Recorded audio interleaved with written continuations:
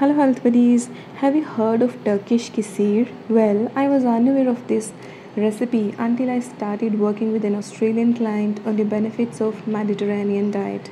Research reveals that the Mediterranean food is the world's healthiest, so I'll try to bring a few healthy recipes, of course, Indianized to cater to your taste buds. But I request you all to try out this Turkish kisir recipe at least once and you will be addicted. I am already hooked onto it. And for this recipe, you need bulgur wheat. But since I did not have bulgur wheat, I have used cracked wheat or dalia or broken wheat and 1 4th cup of cracked wheat soak in half cup of water for 2 hours. The idea is to ensure that the grains soften. If they do not soften, then you can cook them for one whistle.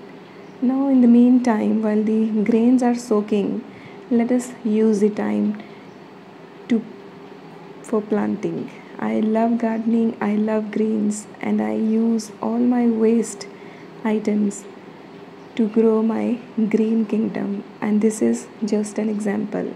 I have used all waste poly bags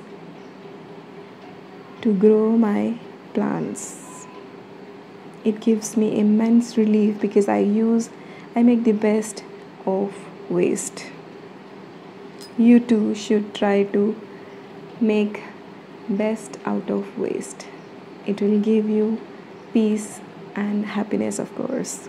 So let's get back to the recipe. Now you need 2 tablespoons of tomato paste, 1 onion chopped, 1 tomato chopped, 1 cup of mint leaves or coriander leaves, 1 tablespoon teaspoon of extra virgin olive oil black salt ground cumin powder or jeera powder and red chili powder. That's optional. Now check whether the grains have softened. If they have not softened then you should cook them for one whistle so that they soften and they are easier to digest. I felt they had already softened within 2 hours so i did not cook them. And turkish people do not cook bulgur wheat. Bulgur wheat is slightly different from broken wheat. Bulgur wheat is actually made from wheat kernels that are steamed and toasted.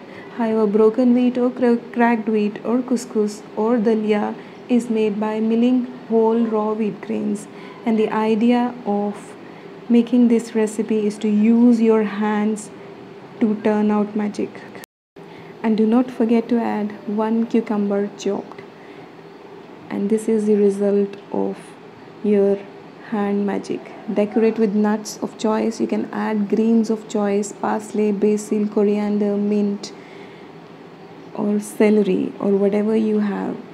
And you will simply love the end result. The kisir recipe in I hope you enjoy making and relishing the yummiest salad on earth. If you do, please like, share, and subscribe. Until next time, take care. Bye bye. See you soon.